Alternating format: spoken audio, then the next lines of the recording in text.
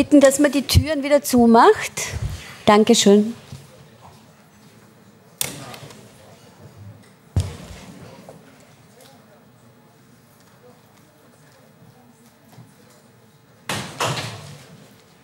Also ich sehe das als gutes Zeichen. Es gibt offenbar viel Gesprächsstoff und Gesprächsbedarf.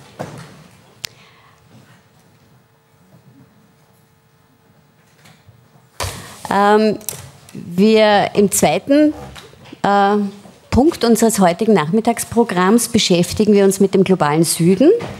Äh, dazu wird uns Karin Fischer etwas erzählen. Herzlich willkommen. Karin Fischer ist Leiterin der Abteilung für Politik und Entwicklungsforschung am Institut für Soziologie an der Johannes Kepler Universität hier in Linz.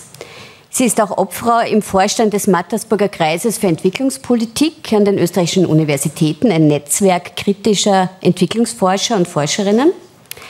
Sie ist auch Redaktionsmitglied beim Journal für Entwicklungspolitik und Mitherausgeberin der Buchreihe Historische Sozialkunde. Ihre Forschungsschwerpunkte sind neoliberale Transformation, Klassenbildung und ungleiche Entwicklung, der sie sich historisch wie auch unter einem transnationalen Blickwinkel nähert. Und in ihrer Dissertation, habe ich nachgelesen, hat sie sich unter anderem mit der Transformation von Klassen in Chile beschäftigt. Und ich glaube, Chile ist ja auch ein besonders äh, spannendes Land. Chile war ja in den 70er Jahren unter Pinochet das erste neoliberale Experimentierfeld der sogenannten Chicago Boys. Also insofern ein, ein guter Start auch oder ein, ein interessantes Land, äh, auch unter, unter dem Blickwinkel unseres heutigen Themas.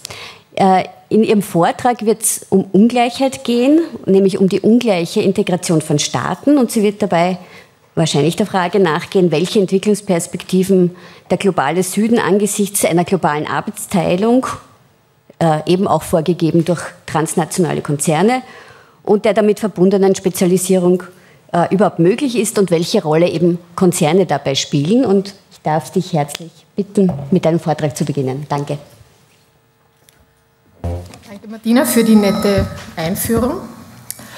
Ja, ähm, du hast es ganz zu Beginn angesprochen, Martina, das war deine Einleitung, dass wir mit dem Aufstieg des globalen Südens konfrontiert sind. Du hast die UNCTAD, die UN-Kommission für Handel und UNCTAD Trade and Development für Handel und Entwicklung erwähnt.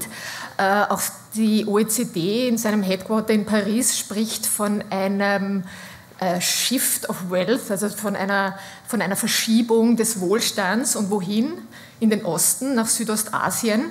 Ähm, auch die Wissenschaft erzählt uns, dass wir mit großen Verschiebungen, Transformationen konfrontiert sind, was sozusagen eine neue ökonomische Landkarte produziert, nämlich dass die USA beispielsweise 2007 zum ersten Mal mehr Industriegüter aus Ländern der sogenannten Dritten Welt, also aus Entwicklungsländern, importiert haben als aus Industrieländern. Und auch die Weltbank äh, erzählt uns etwas über diesen neuen, neuartigen Aufstieg des globalen Südens, nämlich dass die Welthandelsanteile zwischen Süd-Süd ähm, stärker ansteigen als die von Süd-Nord oder Nord-Süd, also dass es eine verstärkte Kooperation unter Südländern gibt das ist nach Weltbank sozusagen äh, verheißungsvoll ein neuer Wachstumsmotor für die Weltwirtschaft, diese gestärkte Süd-Süd-Kooperation. Und wir hören auch, vor allem aus Kreisen der Wirtschaft, also das äh, Weltwirtschaftsforum in Davos hat das voriges Jahr lanciert, diese Debatte über die Entstehung neuer globaler Mittelschichten. Und wer ist gemeint? Natürlich die neuen Mittelschichten in Südostasien. Und was da so mittönt, ich sehe schon ein skeptisches Kopfschütteln. Was da so mittönt, ist natürlich die Erwartung, dass es anderswo, wo bei uns die Wirtschaft sozusagen stockt oder stagniert, dass anderswo kaufkräftige Nachfrage entsteht. Ähm, ich werde Ihnen heute in meinem Vortrag äh, ein bisschen was erzählen über meine Sicht der Einbindung des globalen Südens in weltwirtschaftliche Zusammenhänge diesen Thesen, die ich da jetzt eingangs formuliert habe, ein bisschen auf den Grund gehen, sie auch hinterfragen, ist das wirklich so? Wer steigt denn da auf? Also auch die Frage stellen nach dem, wer profitiert, also die Gretchenfrage, cui bono. Was erwartet sie konkret? Ich habe mir überlegt, ich äh, entführe sie sozusagen an drei Orte in der Welt, also in drei Weltregionen der südlichen Hemisphäre, wo ich sozusagen dieser These des Aufstiegs des globalen Südens im Zusammenhang mit der Einbindung in die internationale Arbeitsteilung und in Verbindung mit Konzernstrategien nachgehe. Ich habe mir drei Sektoren ausgesucht, drei unterschiedliche Sektoren, Wirtschaftssektoren und drei unterschiedliche Regionen. Meine erste Station wird sein Dhaka in Bangladesch, wo ich Ihnen etwas erzählen werde über die Textilindustrie. Die zweite Station ist dann Fria in Guinea. Äh, da geht es dann um Bergbau. Und drittens und letztlich Huerta Norte in Costa Rica, wo ich mir dann an diesem Beispiel den landwirtschaftlichen Sektor anschaue. Und in, an diesen Stationen werde ich schon versuchen, ein paar Erkenntnisse und empirische Fakten hinein zu verweben. Und am Ende steht dann die Frage, womit haben wir es denn zu tun? Und ich werde denselben Begriff verwenden wie Christian Zeller vor mir, nämlich mit einer ungleich verbundenen Entwicklung und eben auch die Frage stellen, wer denn von diesen wirtschaftlichen Prozessen profitiert. Erste Station, Dhaka äh, in Bangladesch. Vielleicht ist Ihnen ähm, dieser Ort ein Begriff. Es hat ja an, an, an diesem, an, äh, in, in, der Hauptstadt oder in der Nähe der Hauptstadt von Bangladesch äh, im April 2013 ein katastrophales Unglück stattgefunden, Rana Plaza. Unter diesem Namen ist es bekannt geworden. Das ist der Name des Gebäudes, in dem fünf Textilfabriken untergebracht waren und das zusammengestürzt ist. Also man wusste das auch schon vorher. Es gab baupolizeiliche Meldungen. Die Arbeiterinnen und Arbeiter wurden dann trotzdem an ihre Nähmaschinen ähm, gezwungen und das Gebäude ist zusammengekracht. Und es sind über 1000 Leute gestorben und doppelt so viele zum Teil sehr schwer verletzt worden. Was sehen wir hier exemplarisch? anhand der Textilindustrie in Dhaka. Also wir haben es hier mit einer tatsächlich global gestreuten Industrie zu tun mit einer Verlagerung, die bereits Ende der 70er Jahre, Anfang der 80er Jahre begonnen hat. Warum? Eine klare Reaktion auf die Profitkrise, auch dieser Begriff ist schon gefallen im, im Vortrag von Christian Zeller, eine klare Reaktion der Profitkrise in den Zentren. Das heißt, arbeitsintensive, eher schmutzige Industrien auszulagern in sogenannte Billiglohnländer. Und in der Textilindustrie war das sozusagen exemplarisch und zuallererst der Fall. Äh, es ist auch eine globale Industrie, was den Anbau äh, der Baumwolle betrifft. Also wenn man, Sie kennen vielleicht diese Bilder von der Reise eines T-Shirts um die Welt, also man kann sich das tatsächlich global vorstellen, dass die Baumwolle aus dem Senegal kommt oder aus dem Benin oder aus China oder Usbekistan dann gesponnen wird in der Türkei oder in Pakistan und vernäht wird, eben beispielsweise in Fabriken in Bangladesch, Kambodscha, Madagaskar, Mexiko, Vietnam oder auch in Chile, äh, Entschuldigung, in, in, in, China. Design und Marketing äh, passiert meist äh, in den Zentren der Weltwirtschaft, also in den Headquarters der, der Konzerne. Ähm, das gibt bereits einen Verweis darauf, wo Macht lokalisiert ist. Wichtig in dem Zusammenhang dieser Verlagerung von arbeitsintensiven Industrien ist allerdings die Tatsache, dass wir es mit starken Liberalisierungstendenzen zu tun haben seit den 80er Jahren, also mit einem entstehenden Freihandelsregime auf bilateraler und auf multilateraler Ebene, die solche Verlagerungen profitabel und überhaupt möglich machen. In Bangladesch haben wir beispielsweise fünf äh, sogenannte freie Produktionszonen. Das sind extraterritoriale Gebiete, die finden wir auch in lateinamerikanischen Ländern oder auch in China, wo sozusagen nationalstaatliche Regulierungen, insbesondere auch des Arbeitsschutzes, nicht gelten und besonders bevorzugte Bedingungen für die produzierenden äh, Unternehmen dort äh, existieren. Mittlerweile allerdings, also die, diese Einrichtung solcher freier Produktionszonen datiert auch schon in die 80er Jahre, im Übrigen anempfohlen von UN-Organisationen als eben als äh, arbeitsschaffende Einrichtung. Mittlerweile wurden ganze Länder bezüglich ihrer Regulierung zu freien Produktionszonen. In Bangladesch allerdings ist es so, dass sehr lange Zeit, ich komme noch darauf zurück, in den freien Produktionszonen beispielsweise Gewerkschaftsgründungen verboten waren, in Fabriken außerhalb dieser Zonen äh, erlaubt waren. Ähm, was wird da so gemacht? Also das sind Unternehmen, die heißen zum Beispiel FS Sweater oder Universal Knitting. Und das sind Firmen, die wiederum, und da bin ich bei einer entscheidenden Weiterentwicklung dieser ersten Verlagerungswelle aus den 80er Jahren, die für sogenannte Kontraktfertiger arbeiten, also Contract Manufacturing, wie das genannt wird, die dann Li und Fung heißen oder Nim Sing oder Crystal Group. Und diese Kontraktfertiger wiederum äh, liefern die Ware an Marken und Ketten, also an Dior, an äh, Tommy Hilfinger, das sind konkret zwei Firmen, die in Bangladesch produzieren, oder eben an Ketten, an, an Textilketten wie HM oder Gap. Und das Interessante ist, dass diese Kontraktfertiger selbst mittlerweile, und das wäre jetzt sozusagen eine erste Annäherung an den Begriff des Aufstiegs, diese Kontraktfertiger selbst äh, zu transnationalen Unternehmen geworden sind.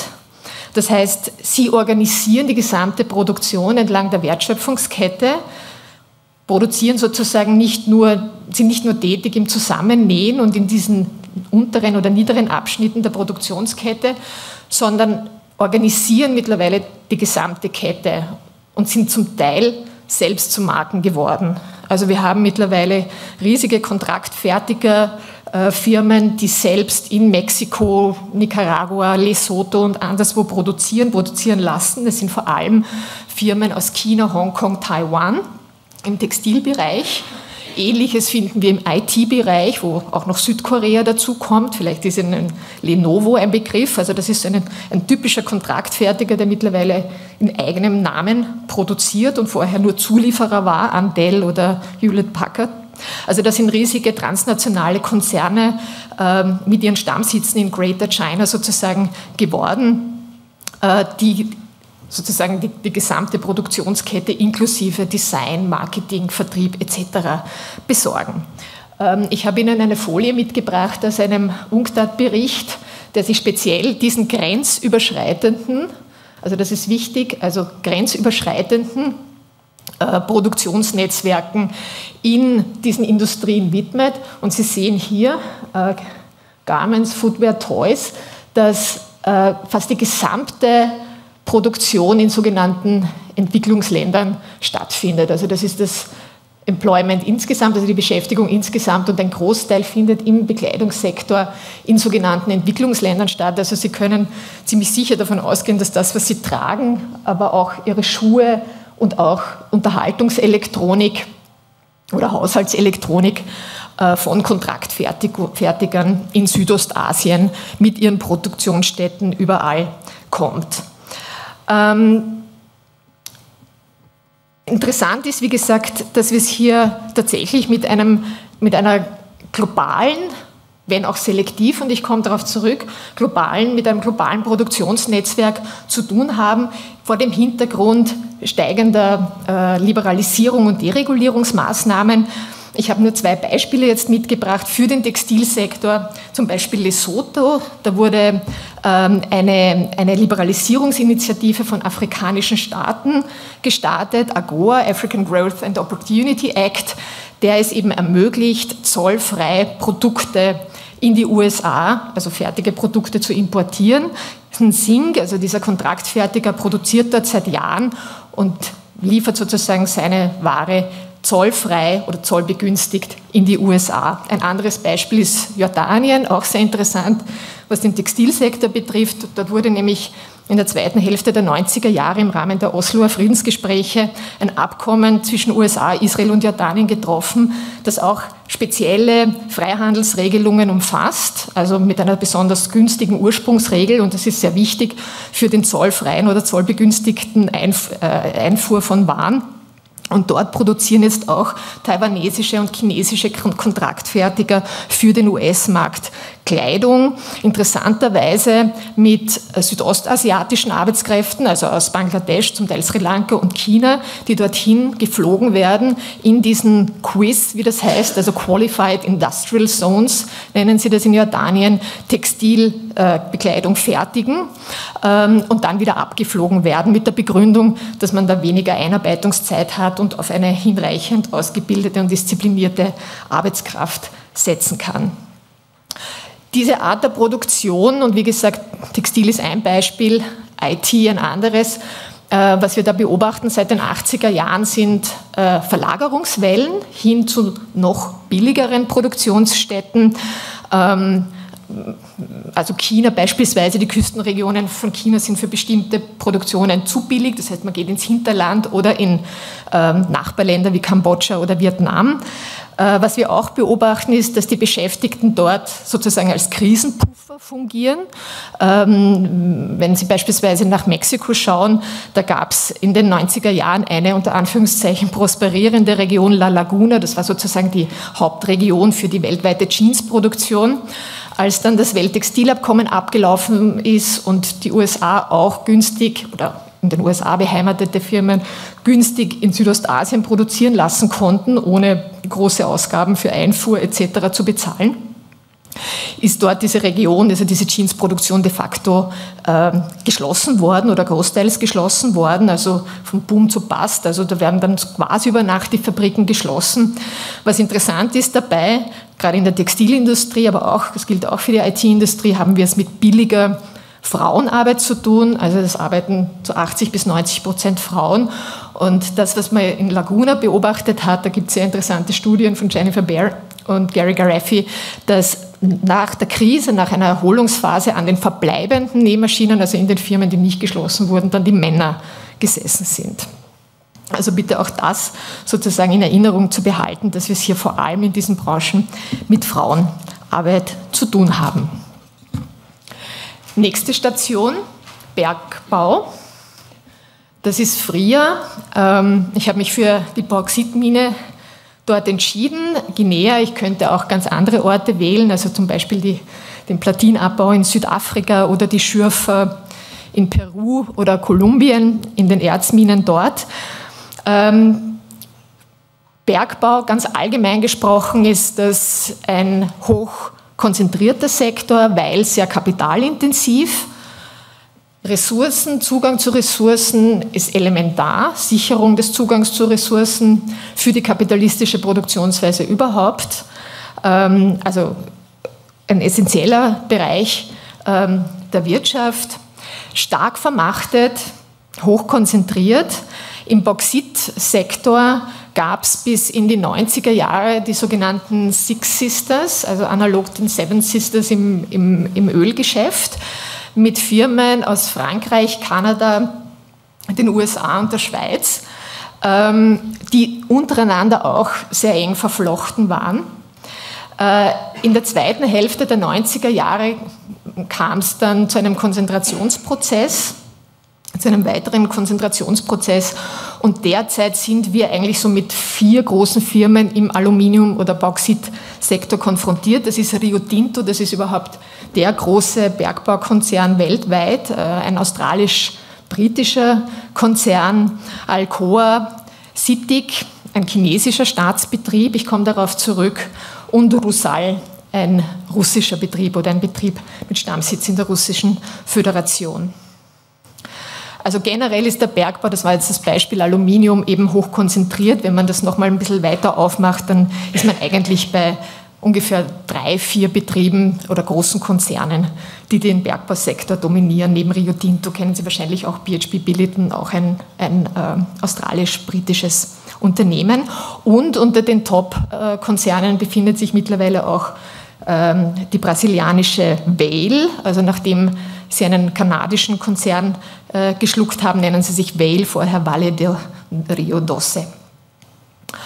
Ähm, die Unternehmen in dem Sektor sind, wir hatten das schon im vorigen Vortrag angesprochen, die sind sozusagen nicht nur horizontal integriert im Sinne von hochkonzentriert, sondern versuchen auch die gesamte Produktionskette zu ähm, kontrollieren. Also Rio Tinto als Beispiel ist ein vertikal integrierter Konzern, der sozusagen vom Bagger, der hier fährt, bis hin ähm, zur Aludose die Kette kontrolliert. Und wir haben es in diesem Sektor auch ganz stark selbstverständlich mit Finanzialisierung zu tun, also mit, mit Mergers and Acquisitions, ähm, die eben darauf zielen, Marktmacht zu kaufen. Da geht es auch um Lizenzen in diesem Bereich. Ähm, wie passiert dieser, diese Bauxitproduktion in Fria, in Guinea. Also Bauxit wird dort abgebaut, also prinzipiell passiert so, dass Bauxit abgebaut wird, dann raffiniert wird äh, zu Tonerde. Interessanterweise passiert das nicht vor Ort, sondern die Tonerde wird nach Europa geführt, wird raffiniert in Irland zumeist oder in Spanien kommt dann wieder zurück nach Fria und wird dann dort in Aluminiumschmelzen zu Primäraluminium sehr energieaufwendig verarbeitet. Was dann rauskommt, dieses Primäraluminium wird wieder exportiert, weil die Weiterverarbeitung wiederum anderswo stattfindet und nicht vor Ort. Also eine integrierte Aluminiumproduktion vor Ort aufzubauen, war schon öfters das Ziel und das gilt jetzt nicht nur für Guinea, sondern auch für viele andere afrikanische Länder, die gerade nach der erfolgreich erkämpften Unabhängigkeit, der Dekolonialisierung, oftmals auch unter progressiven Entwicklungsregimen versucht haben, eine eigenständige äh, industrielle Basis aufzubauen. In Guinea und vielen anderen Ländern ist das nicht geglückt und wir können dann uns gerne noch darüber unterhalten, warum und wieso. Ähm, was an Fria vielleicht noch interessant ist oder erzählenswert ist, ist, dass hier Rusal, also dieser russische Konzern, eingestiegen ist im Jahr 2000. Rusal selber eine, glaube ich, politisch hochbrisante Geschichte. Das, ich erinnere mich dunkel daran, dass das auch in den Medien war, weil da auch Journalisten zu Tode gekommen sind bei einer Fusion von zwei ehemals staatlichen, also sowjetischen Firmen. Äh, Deripaska, Oleg Deripaska, dieser russische Oligarch, ist der Zweidrittel-Eigentümer von Rusal, ähm, der dann, wie gesagt, im Jahr 2000 diese Mine da, die Bauxitmine in Guinea, ähm, gekauft hat, restrukturiert hat, eher klassisch, was wir kennen aus transnationalen Konzernen, also mit einem Kranz fix beschäftigter im Kernbereich und danach sozusagen so Grenze von deregulierter Beschäftigung rundherum. Das hat schon einige Proteste, Streiks und Arbeitskämpfe ausgelöst. Ähm, äh, Rusal hat dann 2012 überhaupt die Produktion vor Ort eingestellt, und zwar als Reaktion auf andauernde Streiks, weil Löhne nicht ausbezahlt wurden, beziehungsweise die Mindestlohnregelung nicht eingehalten wurde. Also 2012 wurde dort die Produktion stillgelegt. Äh, und damit ging sozusagen in Fria, in dieser Bauxitstadt, quasi das Licht aus, weil ähm, die Stromversorgung, aber auch die Wasserversorgung über die Industrieanlagen über die Bergbauanlagen gespeist wurde, was äh, enorme, eine enorme soziale Krise auch ausgelöst hat. Also ich habe hier Johannes Knirzinger erwähnt, der die Fotos gemacht hat, ein, ein äh, Dissertant, der seine Dissertation ähm, über den Bauxitabbau in Guinea geschrieben hat und auch vor Ort war und dann zurückgekommen ist und gemeint hat, also das war gerade diese Ebola-Krise, dass die Menschen dort tatsächlich also Versorgungsschwierigkeiten haben, keinen Zugang haben mehr zu, zu Trinkwasser, also eine, eine, eine, eine menschliche Katastrophe ausgelöst hat. Ähm, aktuell ist es so, dass die, dass die, dass die Produktionsstätten stillgelegt sind. Äh, allerdings die Arbeiter nicht entlassen wurden, aber auch keine Lohnfortzahlung kriegen und der Zustand sozusagen dort immer noch rechtlich auch in der Schwebe ist, wie es dort weitergeht.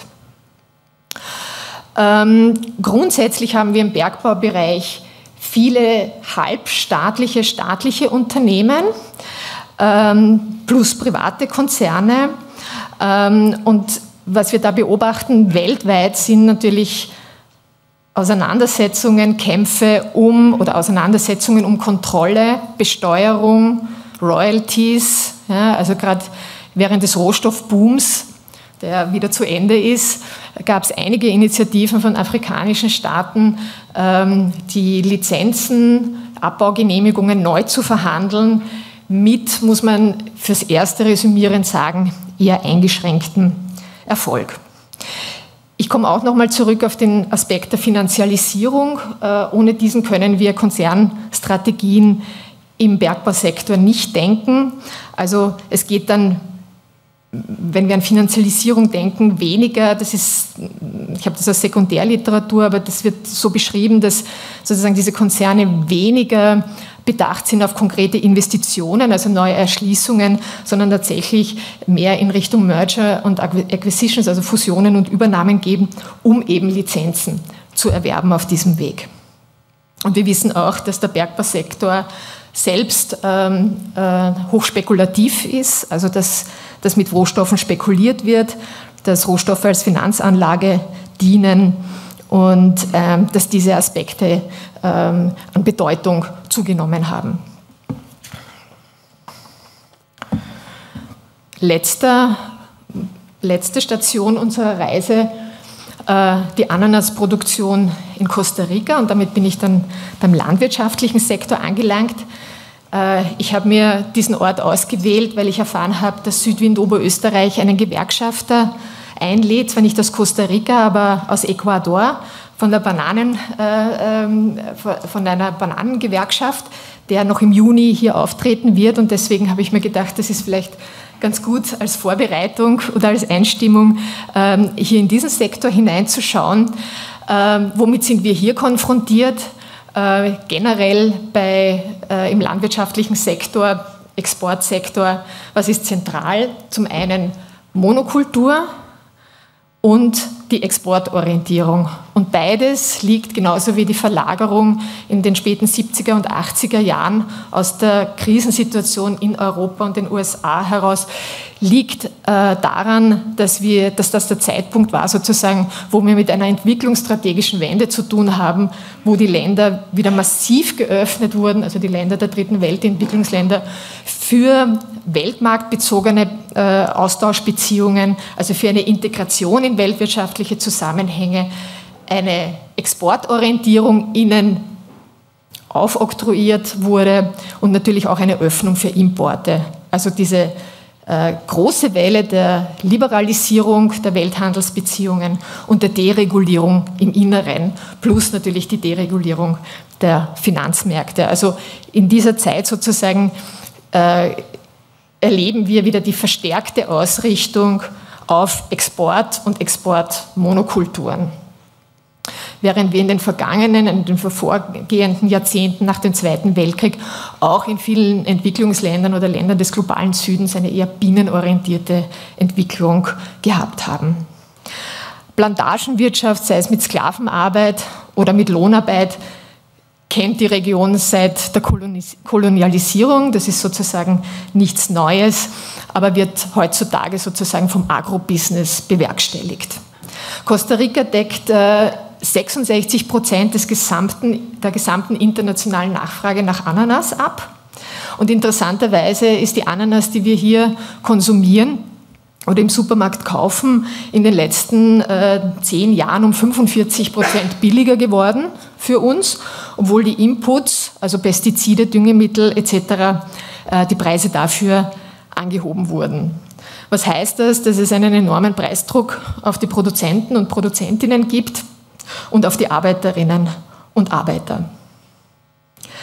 Äh, der Gewerkschafter, der hier in Linz im, im, Juni dann zu Gast sein wird, wird sicherlich einiges zu erzählen haben über die Arbeitsbedingungen auf diesen Plantagen. Also was wir konkret wissen, Oxfam Deutschland hat vor kurzem einen Bericht genau darüber veröffentlicht, über Bananenproduktion in Ecuador und Ananasproduktion in Costa Rica, dass, ähm, dass, dass es massive Repression gegen gewerkschaftliche Organisierung gibt, dass gewerkschaftliche Aktivisten und Aktivistinnen verhaftet werden dass es massive Umweltschäden gibt durch den Pestizideinsatz mit Grundwasserversorgung. Also die Orte hier in äh, Huerta Norte müssen zum Teil mit Tankwegen äh, versorgt werden, obwohl ein extrem giftiges Pestizid, das mittlerweile verboten ist, Bromazil und von Del Monte äh, eingesetzt wurde, aber angeblich eben seit 2008 nicht mehr verwendet wird, weil das immer noch im Grundwasser nachweisbar ist. Dieser Oxfam-Bericht äh, versucht, die Lieferkette zu re äh, rekonstruieren. Das ist gar nicht so einfach. Äh, in keinem Fall einfach, weil das sozusagen geheim gehalten wird. Ich nehme an, Christian, du hattest auch einige Probleme bei deinen Untersuchungen zur Pharmaindustrie. Das ist sozusagen das Dirty Little Secret dieser Güterkettenforschung dass man da ganz schwer nur an Informationen herankommt. Und auch hier ähm, legen die die beteiligten Unternehmen ihre Lieferkette nicht offen. Ich glaube, Aldi Hofer war der einzige Supermarkt, wo man anhand des Etiketts nachvollziehen kann, welche Produzenten involviert waren. Wenn ich die Studie richtig gelesen habe, sie ist im Internet zum Download. Was hat dieser landwirtschaftliche Sektor generell global gesehen an grundlegenden Merkmalen? Ähm, er ist weniger konzentriert als das, was ich Ihnen über den Bergbausektor erzählt habe. Also es gibt viele kleine Produzenten, Produzentinnen. Wir haben es aber auch hier mit Contract Farming zu tun, also mit Vertragslandwirtschaft, also wo große Konzerne mit einzelnen Produzenten direkt ähm, äh, Verträge abschließen, beziehungsweise mit Mittelsmännern oder Firmen dazwischen gestaltet. Also Nestle beispielsweise arbeitet in 80 Ländern mit ungefähr 600.000 Kontraktbauern. Äh, Paprika aus Sambia werden in dieser vertragslandwirtschaftlichen Produktionsweise produziert, Baumwolle in Vietnam, äh, Blumen in Honduras, Schnittblumen in Kenia etc. Wir haben auch weniger Konzentration, was den Einzelhandel betrifft und die Supermarktketten sind ähnlich wie im Textilsektor auch im landwirtschaftlichen Bereich enorm mächtige Akteure, also immer mächtiger werdende Akteure, die bestimmen, in welcher Qualität, in welcher Menge etc. die Produkte in den Supermarktregalen zu landen haben, also mit dem Fokus auf Vereinfachung, also wenige Sorten und Standardisierung. Also auch hier die, die Marke sozusagen als finanzialisiertes Gut ganz, ganz wichtig ist.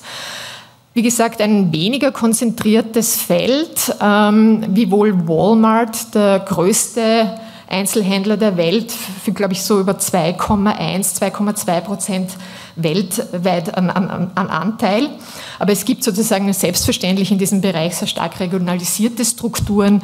Was Lateinamerika be betrifft, da kenne ich mich ein bisschen aus, da sind die Mexikaner sehr stark in der Nahrungsmittelindustrie und bei den Supermarktketten von, von, vom Süden sozusagen kommen die Chilenen. Auch in Asien gibt es natürlich eigene Ketten. Ähm, aber dennoch bleibt sozusagen wichtig festzustellen, dass wir es hier mit großer Marktmacht dieser Supermarktketten zu tun haben.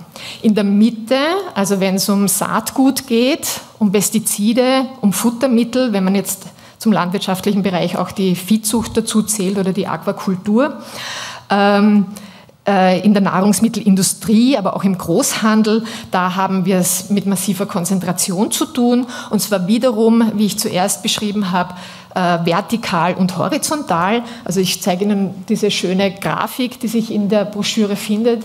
Ähm, Agropoli, also da wurden die, äh, äh, äh, Monsanto sehen Sie hier, die äh, Saatgut- und Düngemittelkonzerne, die vier größten, das kann man nicht so wahnsinnig gut lesen, Monsanto hier als der größte, Bayer ist hier noch als viertgrößter eingezeichnet und Sie haben vielleicht aus den Medien ja erfahren, dass gerade Übernahmeverhandlungen laufen von Bayer äh, an Monsanto.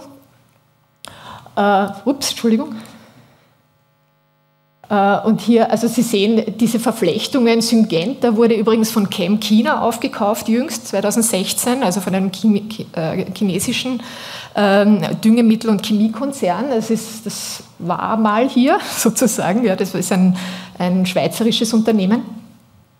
Aber Sie sehen hier sozusagen die, die Verflechtung den Aufkauf, also die Verbindung zu kleineren Firmen und auch die Verflechtung untereinander grafisch dargestellt. Also wie gesagt, in der Mitte, dort wo es um Saatgut geht, enorm wichtig natürlich, Pestizide, äh, Futtermittel, den Großhandel, dort haben wir eine vertikale Integration, wiederum mit dem Ziel, die gesamte Wertschöpfungskette zu kontrollieren. Ähm, was gehört zu dieser Wertschöpfungskette? Sie können sich es wahrscheinlich vorstellen, vom Saatgut, vom Anbau bis hin zu den Maschinen, die eingesetzt werden auf den Feldern oder Plantagen, Handel, Transport, Werbung, Forschung, Vermarktung etc. Und auch hier, wie gesagt, die Finanzialisierung immer mitdenken. Cargill zum Beispiel, das ist der weltgrößte ähm, Agrarhandelskonzern, hat selbst zwei Hedgefonds und ist auch durch Lebensmittelspekulation ähm, in Erscheinung getreten. Und wir haben ja alle erlebt, äh, dass die Lebensmittelpreise 2007, 2008 äh, nicht zuletzt durch Spekulation enorm gestiegen sind, mit entsprechenden sozialen Auswirkungen in großen Teilen des globalen Südens. Was können wir daraus schließen? Ich komme zu einem ersten Resümee. Ich verwende auch den Begriff der ungleich verbundenen Entwicklung.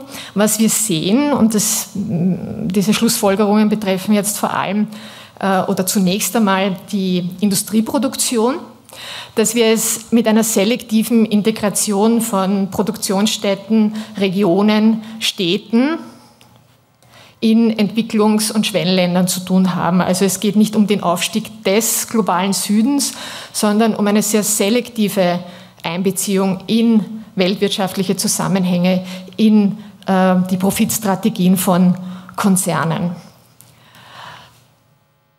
Wenn wir daran denken, dass äh, die Konsumgüter des alltäglichen Gebrauchs mittlerweile großteils in Ländern der dritten Welt oder ausgewählten Ländern der dritten Welt hergestellt werden, dann haben wir so das Bild, dass dort Industrialisierungsprozesse abgelaufen sind oder etwas wie eine erfolgreiche Industrialisierung auf den Weg gekommen ist.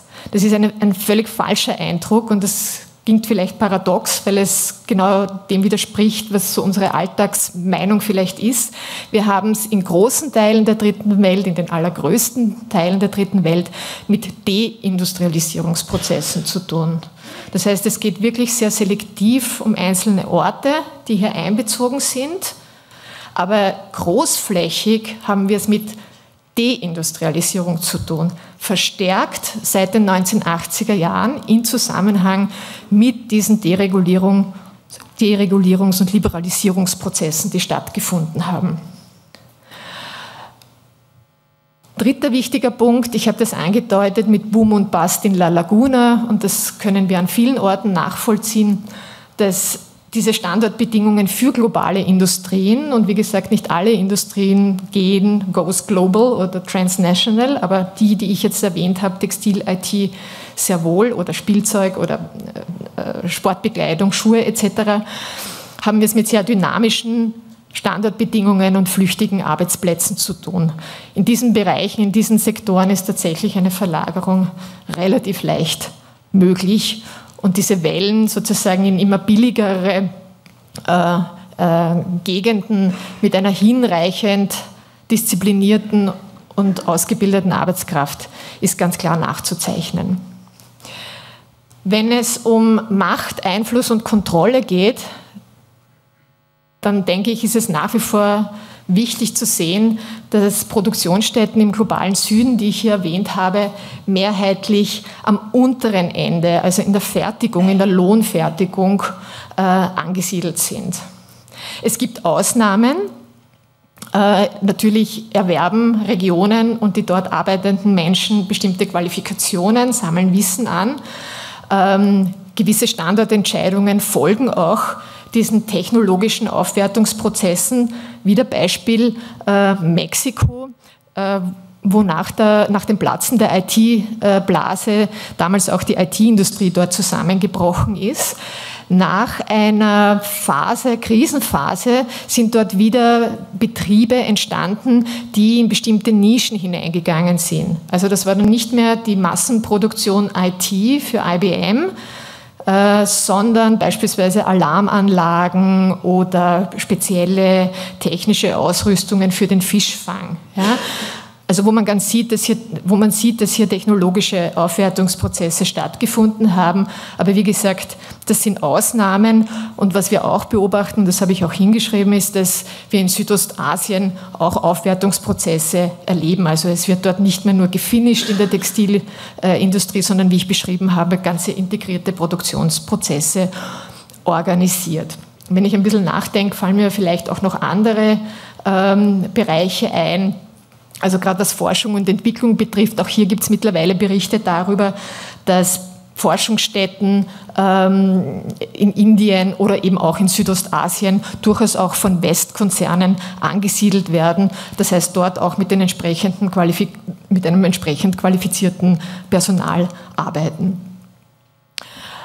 Ähm, Dennoch stelle ich mal fest, äh, wie das auch der Wirtschaftshistoriker Fernand Brodel schon formuliert hat, dass es im Kapitalismus so ist, dass unten und unten ist hier unter den Arbeitenden Konkurrenz gibt, dass man die Arbeitenden oder auch die Supplier, die Zulieferer auf der dritten oder zweiten Ebene gut äh, gegeneinander ausspielen kann und dass ähm, oben, also je weiter man hinaufkommt sozusagen, desto vermachteter sind kapitalistische Strukturen und das beobachten wir auch in dieser von mir in diesen drei Sektoren beschriebenen Konzernwelt.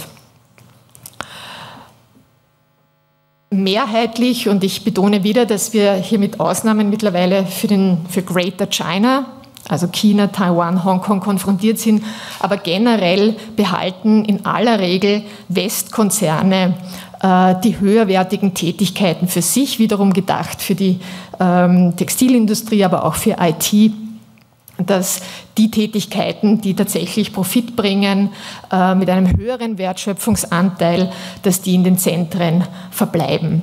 Und wichtig ist ja auch, dass die Kontrolle über Rohstoffe, also wie gesagt eine elementare Sache, ähm, in den Zentren ist. Also hier haben wir kaum ähm, äh, Südkonzerne, wenn wir so wollen. Ähm, wobei stimmt nicht ganz. Also es gibt mittlerweile chinesische Konzerne, die sehr stark äh, in der Rohstoffausbeutung in Afrika beispielsweise präsent sind. Also China hat eine nationale Energiesicherungsstrategie. Da geht es ganz klar darum, Energieressourcen sicherzustellen. Also auch hier haben wir Ausnahmen, was die südostasiatische Region oder konkret China betrifft. Aber, und äh, das ist mir ganz wesentlich zu sagen, es ändert sich global gesehen an den Machtverhältnissen nichts, was Nord-Süd betrifft oder nur sehr wenig. Ähm, und auch wenn man sich beispielsweise anschaut, wie China äh, aber auch Indien in Afrika oder Lateinamerika agieren. Also hier geht es, wie zuerst angesprochen, in erster Linie um Rohstoffsicherung ähm, und nicht um äh, fairere oder gleichere Austauschbeziehungen. Also das Muster von China in Afrika folgt eigentlich einer neokolonialen Arbeitsteilung. Äh, Ressourcen herausbringen und Fertiggüter hinliefern.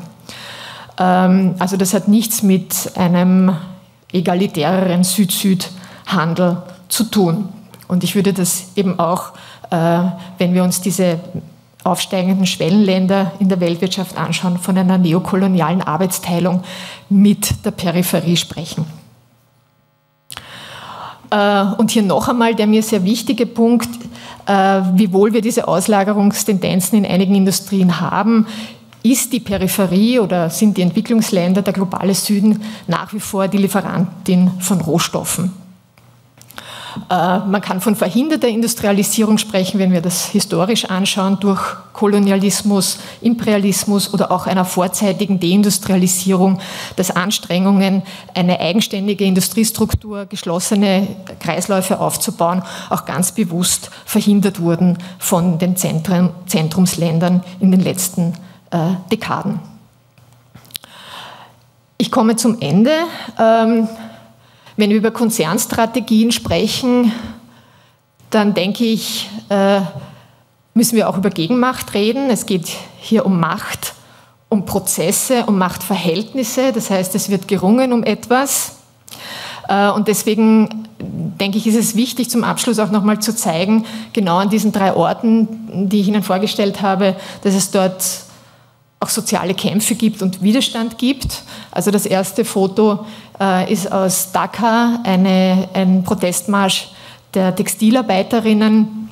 Und äh, äh, wir können gerne dann in der Diskussion auch noch über Widerstand und Gegenmaßnahmen reden, aber konkret dort ist ziemlich schnell nach, dieser, nach diesem Einsturz des Gebäudes mit diesen katastrophalen Folgen ein, ähm, eine Regelung auf den Weg gebracht worden, das Gebäudesicherheit vorsieht und entsprechende Kontrollen. Ähm, kann man kritisch sehen. Also das läuft sozusagen unter Private Standards, also das sind so Multi-Stakeholder-Abkommen, die geschlossen wurden. Aber immerhin, also es sind die lokalen Gewerkschaften beteiligt, die ILO, also die Internationale Arbeitsorganisation, die eben die dort tätigen Firmen verpflichtet, auf Gebäudesicherheit zu achten mit Überprüfungen. Ähm, happen. Ja, aber wichtig ist hier zu zeigen, dass es da auch Arbeitskämpfe gibt um höhere Löhne und bessere Arbeitsbedingungen. Das zweite Bild äh, ist aus Fria mit diesem umgestürzten Lastwagen. Auch dort, ich habe es gesagt, gibt es massive Proteste. Ähm, die Firma von, von äh, also Rusal hat die Produktion stillgelegt.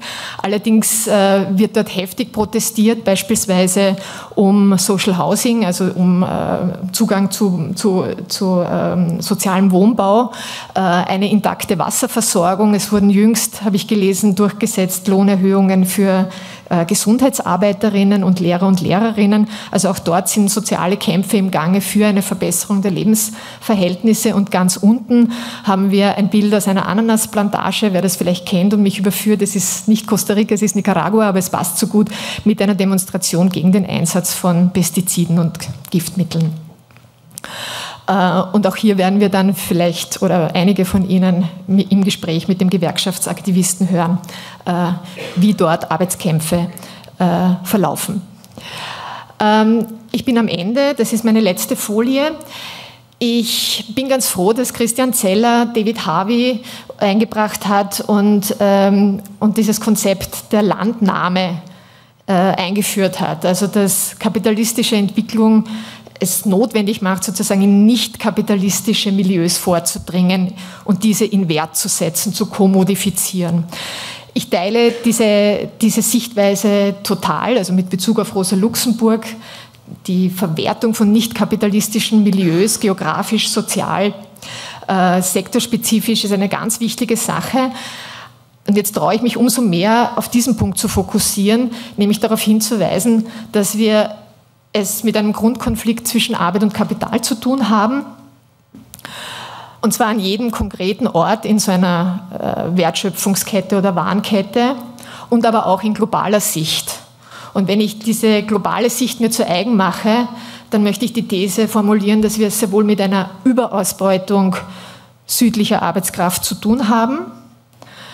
Gleichzeitig aber sage, dass der Kampf um höhere Löhne, um bessere Arbeitsbedingungen an jedem Ort zu führen ist, aber auch in globaler Perspektive will heißen, höhere Löhne hier schaden niemandem im globalen Süden.